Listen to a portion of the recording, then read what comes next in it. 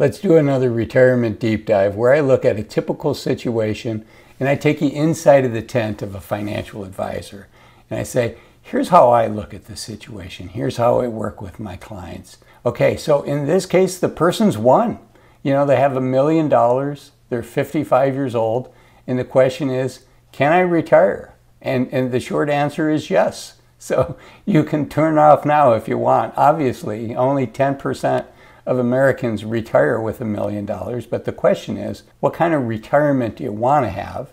And can you have that kind of retirement? And that's really what I want to, to show in these deep dives is kind of the trade-offs in, in how a financial advisor will work with you on these trade-offs. Now, I'm not using the professional software that I would use at work. I'm using a free online software tool so that you can follow along at home. You can tweak some things. It's very high level. Uh, but I think it does a good job. So the, the, the website is honestmath.com. And let's jump in. So this person's, again, they're single. They've got a million dollars. They're 55 years old. And in, in my nomenclature, they've won. Now it's just what type of prize do they want? Do they want the prize that they can get today? Do they want the prize that they can get in three years, and five years, and 10 years? And be really careful you want to know what the trade-off is. Okay, let's jump in. The first thing is we just go into the personal information. You can see they want to, uh, they're going to retire uh, with a million dollars at 55, or we're exploring that. They were born in 1969, which makes, if I did my math right, makes them 55 at this time. Their Social Security is going to be $3,000 in today's dollars, uh, and they're going to, but they're going to take it importantly at full retirement age. So, so why did I $1,000. Well, you can see here on the Social Security uh, website uh, that I looked up that the maximum Social Security check at full, uh, at full retirement age in the United States in 2024 is $3,822. That same person that, that's getting the max, if they take that early in 2024, they're going to get $2,710. Now, this person, they've got a million dollars. They probably earned decent money along the way. Uh, and that's why I chose what I did. I didn't choose the maximum, but I did say $3,000. Uh, and they're going to get that at full retirement age. Okay, let's keep going. Uh, let's see, pension, there's no pension. There's no other income. So the next tab in honestmath.com is the portfolio. What's the balance of the portfolio? A million dollars. The mix of stocks and bonds, and you can make this whatever feels right to you. In my case, I made it 60-40. And then I come down here and I look at the expenses and I say they'd like to live on $5,000 a month. Now, I'm assuming inflation to 2%. That's the same inflator that I use for Social Security.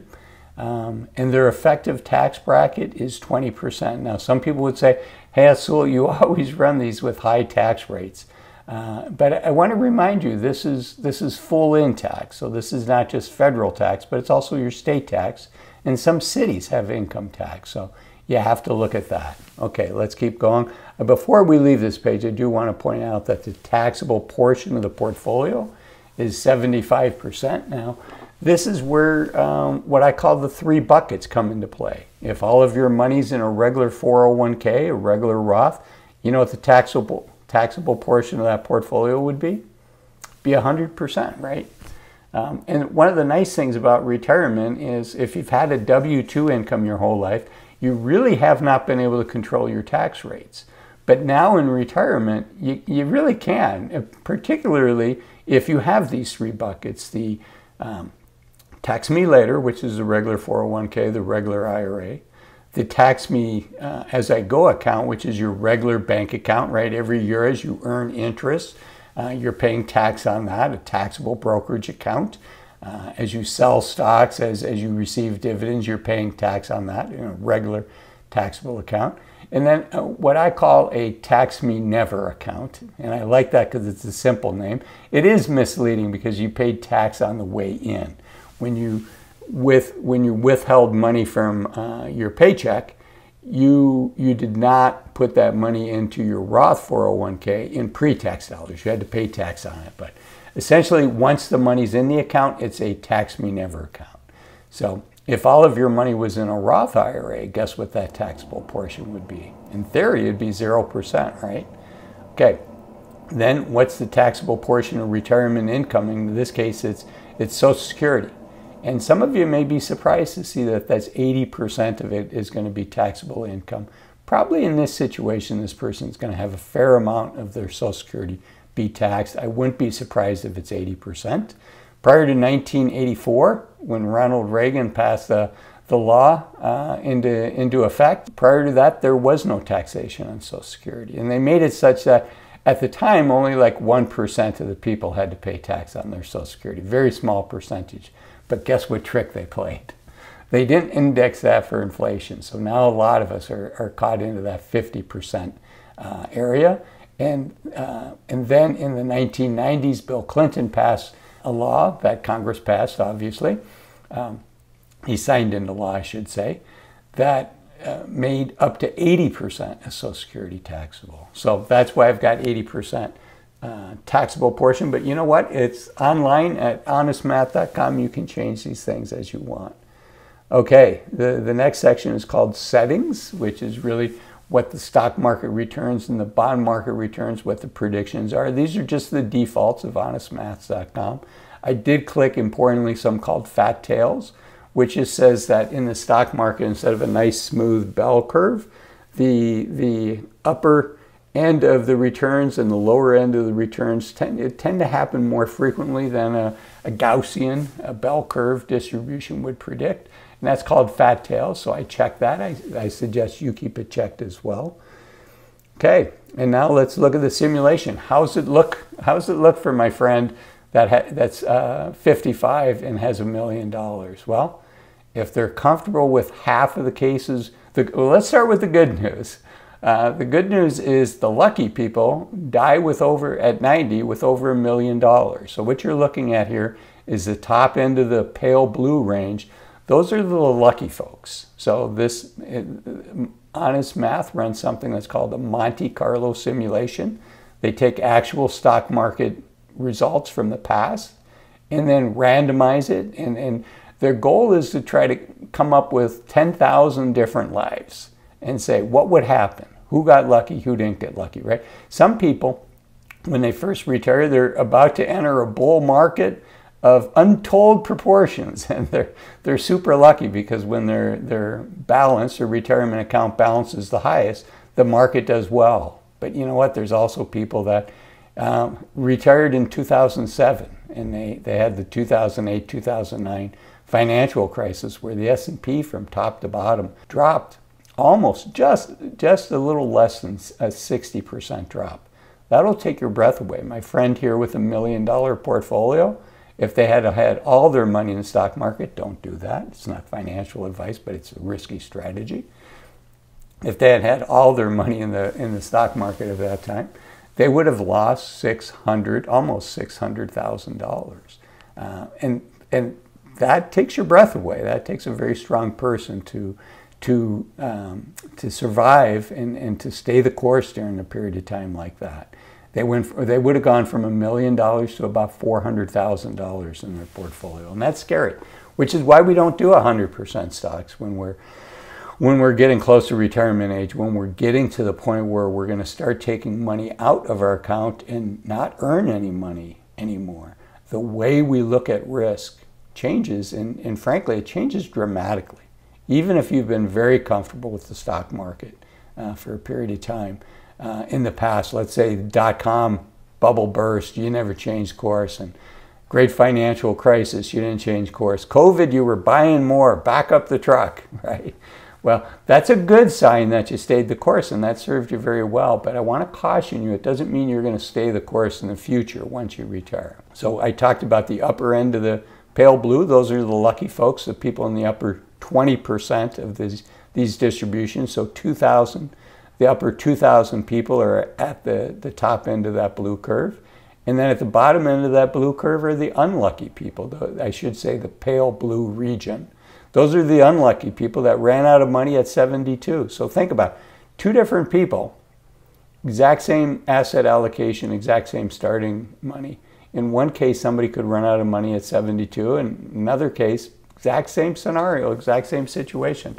They could end up passing away with over a million dollars. So there is some luck involved in it. And if you get unlucky, I don't want you beating yourself up uh, with the stock market. This is why we do the asset allocation. When, when people call up their financial advisor because the stock market's gone down and they say, hey, you know, what are you doing to protect me from this, from this market correction? The right answer, I think, from a financial advisor is, well, here's what we did for you three years ago or five years ago to prepare you for this. It's your asset allocation. So your, your stock allocation what, is what protects you from scary times. Okay, and then in the median uh, line, which is that dark blue uh, line, that's, that is the 5,000th life out of the 10,000. Half the cases did better, half of the cases did worse. And unfortunately, you run out of money here at 81. Now, does that mean you can't retire? No, it doesn't mean you can't retire, right? We put into the initial, just as a reminder, let me look at my notes here. I believe we had on expenses, give me one second, we had $5,000 a month. Uh, so let's tweak it. Now, some people would say, yeah, Azul, I'm fine with 5000 a month. And, you know, if I find myself in a, in a bad situation, I'll course correct later. And what's interesting here is look at that median case. Boy, you know, they went from a million dollars to $2 million in 10 years. They're feeling really confident only to find out, look at what was awaiting for them, even in a 60 40 portfolio.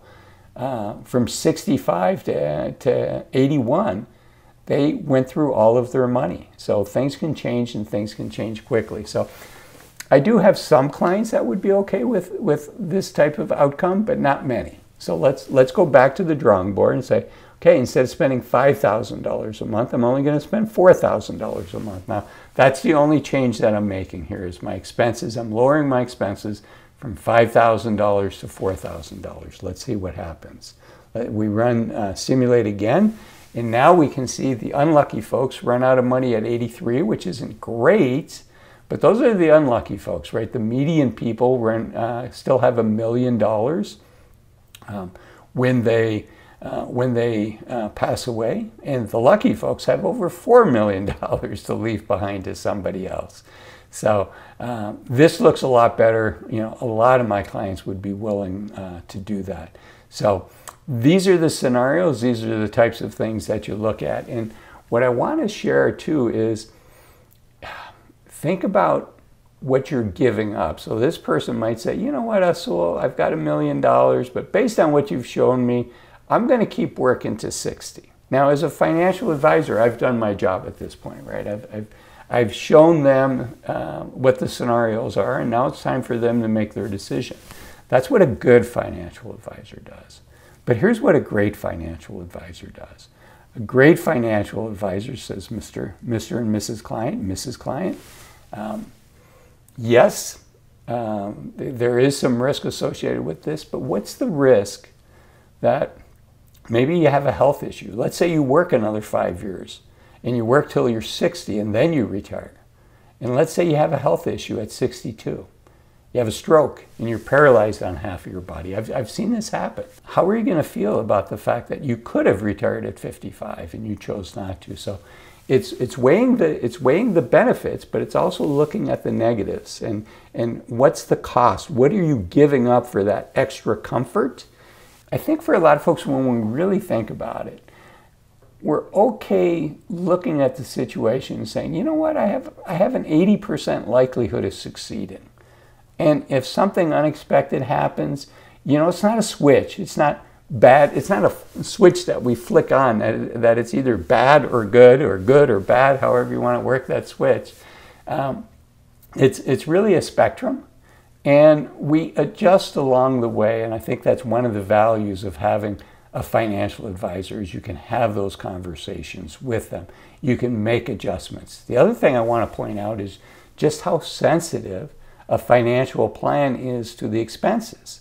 So if you tell your financial advisor, hey, I'm going to be spending $4,000 a month in retirement, but you find you're spending $5,000 a month, $5,500 a month. Now, if you do that one or two months, over your retirement? Is it going to move the needle? No, it's not. Don't worry about it. If you're doing that half of the time, You're doing that every month, is it going to move the needle? Unfortunately, yeah, it is. So it's important to keep your financial advisor in the loop so that they can kind of see how you're doing and make tweaks when you still have 30 years to make adjustments, as opposed to now we're within 10 years and we've got to make bigger adjustments. You'd rather not do that if you can avoid doing that. Um, so those those are the big trade-offs. I hope you found this video helpful. If you did, I know you're going to find this video helpful where I talk about enjoying the journey until you get to retire, which is seven things that I want you to stop doing in your 50s to enjoy the journey until you get to retire. Thanks for watching this one. Bye-bye.